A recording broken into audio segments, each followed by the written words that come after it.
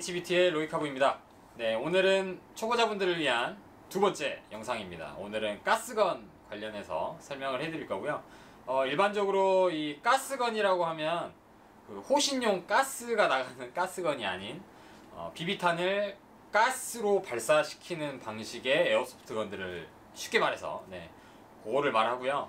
어, 일반적으로 어, 핸드건 이제 권총류가 거의 대부분 어, 가스 핸드건들입니다. 물론 소총도 있어요. 스나이퍼건도 있고요. 근데 어, 가스건 같은 경우에 이제 가스건의 종류도 엄청나게 많습니다. 이 에어소프트건이 음, 실총을 기반으로 해서 이렇게 에어소프트건으로 모델이 나오기 때문에 어, 실총에 있는 핸드건들은 거의 다 네, 에어소프트건으로 나온다고 보시면 되고요. 어, 이제 뭐 추천해달라고 하면 저는 뭐 글록 성애자이기 때문에 어, 글록류를 많이 추천해드리고 어, VFC 젠5 글록 17이나 19X 또는 어, WE 글록 제품들 그 다음에 뭐 마루이 제품들은 뭐 어느 거나 상관없어요. 거의 준수하게 어, 좋은 성능 보여주는데 아무튼 어, 본인이 이제 그 에어소프트를 시작할 때 소총은 전동건으로 사더라도 이제 핸드건은 이 권총은 거의 다 이제 가스건이에요. 거의 가스건 위주예요. 물론 이게 전동으로 나가는 가, 이 핸드건도 있어요. 근데 어, 타격감도 조금 가스건에 비, 비해 떨어지고 어, 이 사거리도 좀 떨어지기 때문에 어, 핸드건들은 거의 예, 가스건을 많이 쓰는데 일단 마음에 드는 어, 핸드건을 네, 주문을 합니다. 그러면 총을 결제 이제 사면 이렇게 총 본체랑 기본 탄창 하나에 설명서가 들어 있습니다. 이제 추가로 구매하셔야 될 게 어, 이 가스건은 파워 소스가 가스예요.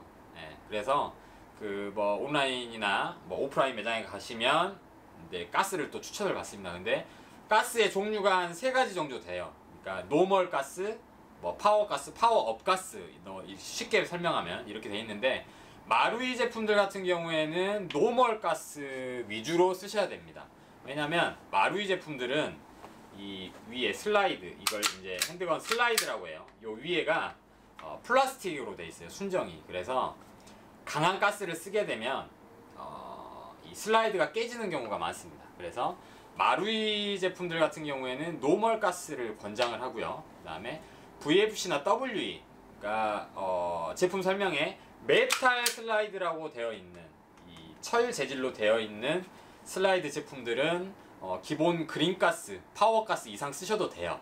근데 이제 이 가스의 종류에 따라서 이 파워가 달라집니다. 비비탄이 나가는 파워가. 그러니까 그거는 잘 선택하시고 일반적으로 저희가 이제 게임 때 쓰는 거는 파워가스라고 말하는 어, 그린가스 등급을 많이 씁니다. 12kg 정도 되는 어, 등급의 예, 가스를 많이 쓰고 12, 뭐 14, 그린업 가스가 14 정도 되는 강도의 예, 가스예요.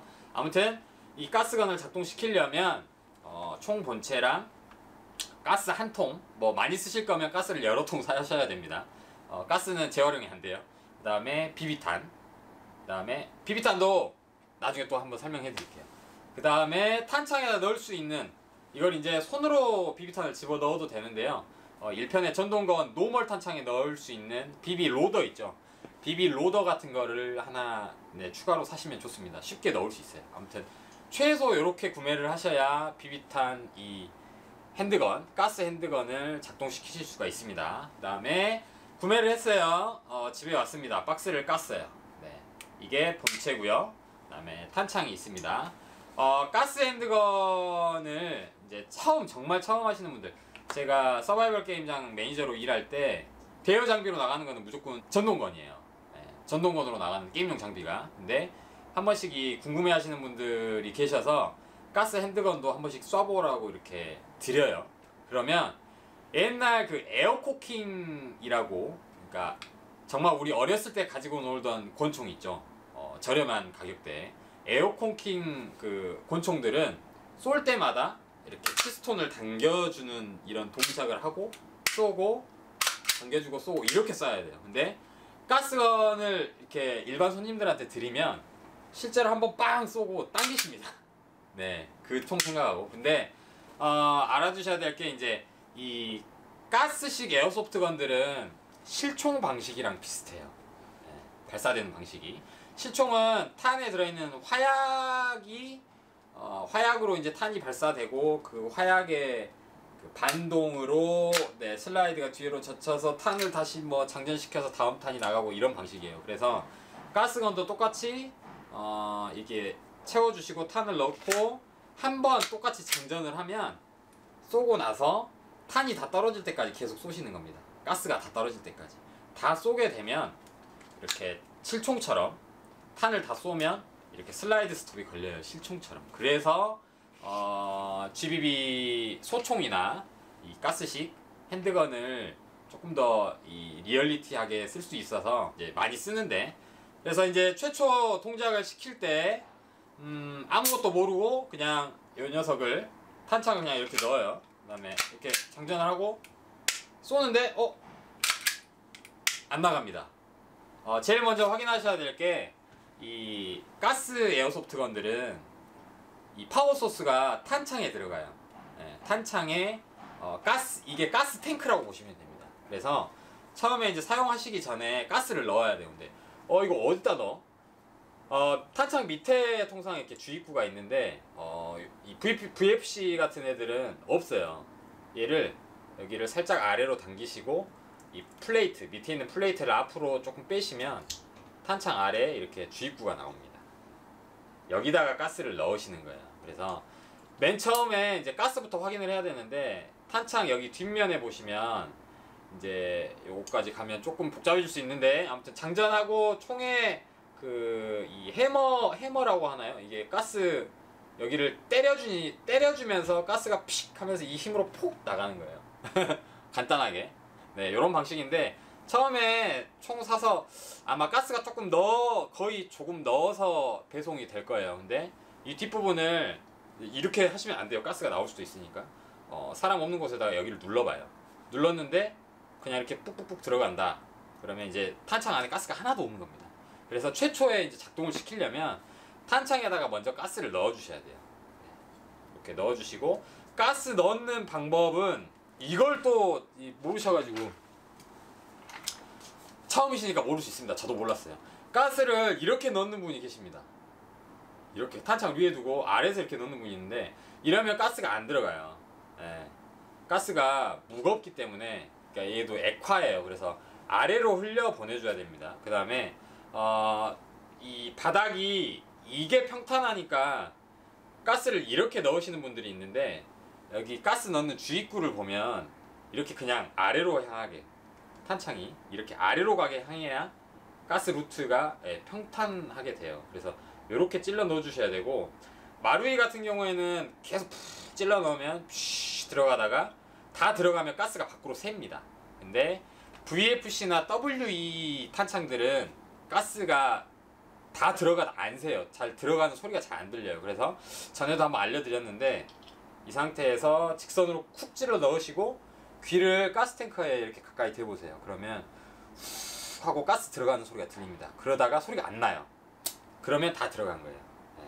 그래서 이렇게 하시고 어, 처음에 이제 탄창이 차가워요. 또 하나 가스를 넣고 나서 탄창이 되게 차가운 녀석들이 있습니다. 아니면 신나게 막 연사로 갈기고 나서 신나게 쏘고 나서 탄창이 엄청 차가워져요. 이게 기화가 되기 때문에 가스가 차가워졌을 때 다시 놓고 쏘면 잘 안 나갑니다.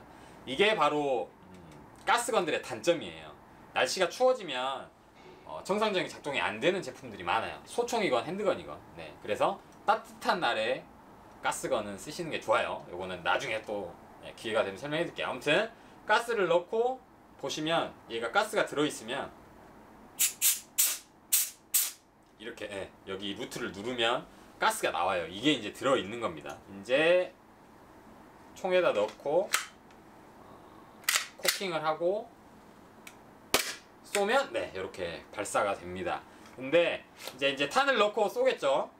똑같아요. 탄 넣고 장전하고 어, 사람이 없는 곳이나 사격이 가능한 곳에서 꼭 사격을 하셔야 됩니다. 사람한테 절대 쏘시면 안 되고 깡깡깡 쐈어요. 쐈는데 어 뭐야? 전동건과 똑같이 탄이 바로 앞에 떨어집니다.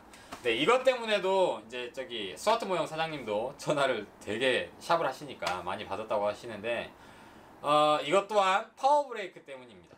네, 파워 브레이크 때문이고 어, 가스건들 같은 경우에는 파워 브레이크가 거의 통상 음, handgun 같은 경우에는 노즐에 그래서 여기까지만. 네, 그래서 파워 브레이크를 이제 네, 정상적으로 이렇게 해야 게임 탄속이 나오고요. 요거는 요거 관련해서는 또 얼버무리고 끝나겠습니다. 아무튼 파워 브레이크 때문에 예, 이렇게 탄이 앞에 떨어지는 거예요. 그리고 어, 가스건 같은 경우에 파워 브레이크가 걸려 있는 상태에서 많이 사용을 해버리시면 어, 총에 고장이 날 수도 있습니다. 네.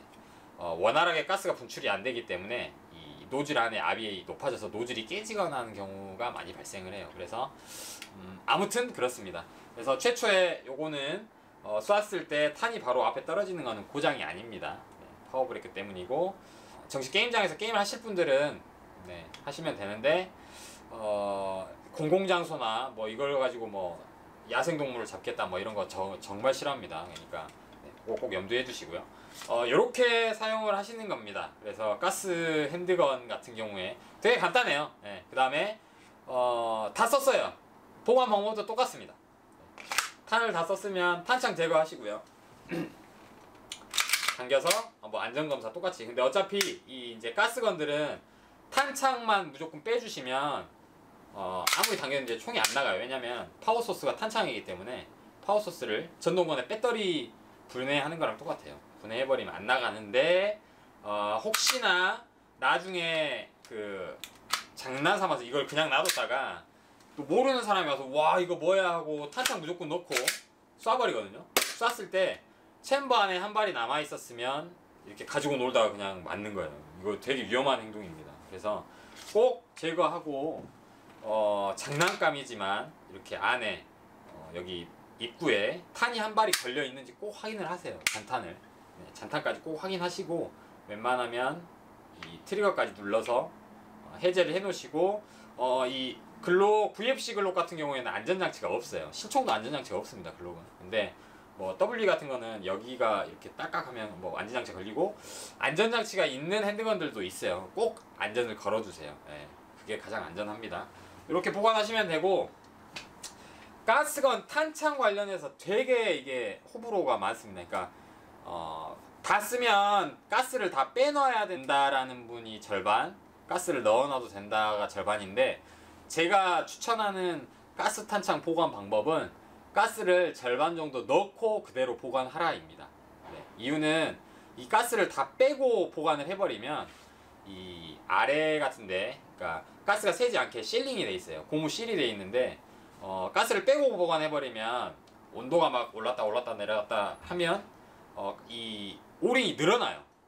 네, 압축이 딱 안 된 상태에서 있기 때문에 늘어나 버리기 때문에 어, 이거는 제가 지금 5년 이상, 그러니까 4년 이상 가스건을 쓰면서 어, 가스 탄창에 샘 있는 게 거의 없었어요. 떨어뜨리지 않는 이상, 네, 이것도 이야기 해드릴 건데 가스 샘이 거의 없었습니다. 그래서 가스 탄창은 이렇게 보관하시면 되고 한 가지 이제 네, 이야기를 하려고 했는데 가스 탄창, 그러니까 GBB 라이플이나 이 GBB 핸드건, 가스식 핸드건 같은 경우에 이 탄창이 되게 비싸요. 네, 핸드건 같은 경우에도 이 가스 탄창 하나에 뭐 한 3만 원 이상씩 하고요. 그 다음에 특히 소총들 가스 탄창 같은 경우에 정말 비싸요. 마루이 거 막 8만 원씩 하거든요. 그러니까 탄창이 되게 비싼데 이 탄창을 이제 실제 이렇게 트레이닝 하거나 할 때 쏘고 이제 급하면 탄창을 그냥 바닥에다 떨구잖아요. 근데 떨어뜨리면 어, 얘가 이제 메탈 재질의 탄창이기 때문에 충격을 받으면 어, 이런 이음새라든지 이런 데가 천천히 벌어집니다. 그러면 이제 가스샘이 발생을 하게 돼요. 이게 한번 이 프레임 탄창의 프레임에서 가스샘이 발생을 하게 되면 어, 다시 살리기가 너무 힘들어요. 그래서 새 탄창을 구입을 하셔야 됩니다. 그래서 요거는 충격에 되게 예민해요. 그래서 조심하셔야 되고 특히 어, GBB 라이플 소총 탄창들 같은 경우에는 크고 더 무겁기 때문에 떨어뜨리면 충격이 더 많이 가서 파손되는 경우가 많습니다. 그래서 GBB 라이플의 이제 GBB 핸드건들, GBB 라이플들의 이제 장점이 실총과 같은 반동도 있고 어, 실총과 같은 작동 방식이라서 그다음에 이런 반동이나 쏘는 느낌이 실총과 비슷하기 때문에 좋아하시는 분들이 많지만 어, 이런 것들 때문에 또 어, 싫어하시는 분들도 있어요. 예, 저 같은 경우에도 되게 조심한 편이에요. 소총 같은 경우에는 트레이닝 할 때 거의 이제 바닥에 매트를 깔지 않는 한은 탄창을 실총 탄창처럼 바닥에다 함부로 떨구지를 못해요. 예, 탄창이 너무 비싸니까. 예, 그래서 요거는 예, 정말 조심하셔야 됩니다. 네, 그리고 되게 심플해요, 가스건은. 요렇게만 어, 사용하시고 관리해 주시면 되고요. 그 다음에 이제 가스건들은 안에 윤활을 잘 해주셔야 됩니다. 그러니까 요 글록 같은 경우에는 이제 사용하실 때 이런 작동부가 있어요. 슬라이드가 왔다 갔다 하는 이런 작동부에다가 어, 구리스 말고요. 구리스는 웬만하면 쓰지 마시고 어, 이런 건샵에서 많이 팔아요. 실리콘 오일 이렇게 짜서 쓰거나 저는 웬만하면 이렇게 짜서 쓰는 거를 쓰거든요. 이게 뿌리는 거는 너무 많이 퍼져버려서 다른 데도 막 다 튀니까 이렇게 짜서 쓰는 오일, 예, 실리콘 오일 같은 걸로 어, 이 탄이 나가는 부분 말고요. 이렇게 이런 노즐, 여기가 노즐이라고 하거든요. 얘가 왔다 갔다 하는 피스톤 노즐 부분이나 총의 요그 메탈이 서로 금속류들이 맞닿는 부분에다가 조금씩 윤활을 자, 어, 주기적으로 해주셔야 돼요. 그래야 예, 작동성이 좋아요. 좀 뻑뻑하거나 잘 안 된다라고 하시면 윤활 먼저 해주시고 그 다음에 그러니까 탄이 안 나가게 그냥 가짜로 쏘는 거 있죠. 이게 전동건이건 핸드건이건 아니 그러니까 가스건이건 안 좋아요. 총에 되게 안 좋은 네, 여기 습관입니다. 막 공탄 사격으로 막 쏘고 놓으시는 분들이 있는데 어, 물론 뭐 상관없어요. 수리하셔서 쓰면, 쓰시면 되는데 이런 가스 핸드건이나 가스 라이플들 같은 경우에 한번 고장이 나면 이 발사를 권장하는 이런 작동부를 통째로 다 갈아야 어, 이 고장 증상을 해결하는 경우가 되게 많아요. 고장 없이 오래 쓰는 방법은 최대한 쓸 때만 쓰는 겁니다. 네, 물론 자주 사용하시는 분들은 어쩔 수 없어요. 어, 수리 부속들이 그나마 어, 근록류들은 이제 좀 많기 때문에 네, 스페어 부속들을 좀 가지고 계시다가 네, 고장난 부속들 이렇게 정비해서 쓰시면 되는데 네, 아무튼 어, 가스건들은 되게 간단해요. 그 다음에 어, 가스 라이플들, 가스 소총들도 사용하시는 방법은 비슷합니다. 가스 탄창, 탄창에 가스가 들어있는지 확인을 하시고 가스 채우시고 비비탄 넣고 네, 꼭 이 장전을 해주셔야 돼요. 초탄 처음에 장전하시고 어, 가스건들은 장전을 해주셔야 돼요. 실총처럼 네, 초탄을 넣어주셔야 그 다음 탄부터 장전돼서 나가고 탄이 다 쏘면 네, 노릿의 후퇴 고정처럼 네, 후퇴 고정이 됩니다. 그러면 빼서 다시 가스랑 비비탄 채우시고 네, 넣으시고 그 다음에 어, 나머지는 뭐 inner barrel 청소 어, 꽂을대로 한 번씩 청소해 주시고요. 그 다음에 hop-up 조절 같은 경우에 그러니까 handgun들이나 전동건도 똑같아요. hop-up이라는 거 이것도 다음에 설명해 드릴 텐데 hop-up을 또 걸어야 탄에 이렇게 스핀을 주는 거예요. 그래서 탄을 멀리 보내는 그 장치 기능을 hop-up이라고 하는데 hop-up. 네. 이 hop-up을 또 걸어줘야 탄이 어느 정도 비행을 해서 날아갑니다. 그래서 어, 이런 handgun들 같은 경우에도 어, 탄이 바로 이 파워브레이크 했는데도 탄이 바로 앞에 떨어진다 그러면 hop-up을 제대로 안 걸어서 그런 거니까 네, hop-up도 야외에서 충분히 조정을 하셔서 또 hop-up 거는 스타일도 또 네, handgun 그다음에 전동건 어, 어떻게 꾸며야 되나요도 나중에 이제 한번 리뷰를 다룰 텐데 본인 스타일대로 꾸미시면 돼요. 네, 고증을 따라하시거나 뭐 나는 미국 뭐 네이비실처럼 꾸밀 거야 하면 네이비실 실제 어떤 어, 외장 옵션들이 부착이 되어 있는지를 보고 그것도 에어소프트용으로 이런 왕구형 레플리카라고 하죠. 어, 레플리카로 많이 나와요. 그런 거 이렇게 해서 어, 이렇게 꾸며주시면 됩니다. 아무튼 오늘은 두 번째 시간이었고요. 또 영상이 길어지지 않았나 싶습니다. 아무튼 오늘은 핸드건, 가스 핸드건이 거의 대부분이기 때문에 가스 핸드건 위주로 네, 설명을 해드렸고요. 어, 이제 막 핸드건 한정 사볼까? 에어소프트 시작해볼까 하시는 분들에게 조금이나마 도움이 됐으면 좋겠습니다. 네, 또 뭐 초보자분들에게 유용하다고 생각하는 것들 또 구상해서요 어, 영상 남겨드리도록 하겠습니다. 날씨가 이제 정말 겨울입니다. 오늘 아침에 정말 추워 얼어 죽을 뻔했는데요. 어, 눈 소식도 많이 들려오고 어, 항상 안전운전 하시고 몸 관리 잘 하시고요. 이제 겨울이니까 따뜻하게 입고 생활하시고 구독과 좋아요 네 감사합니다. 네 오늘 영상도 재밌게 봐주시고요. 시청해주셔서 감사합니다.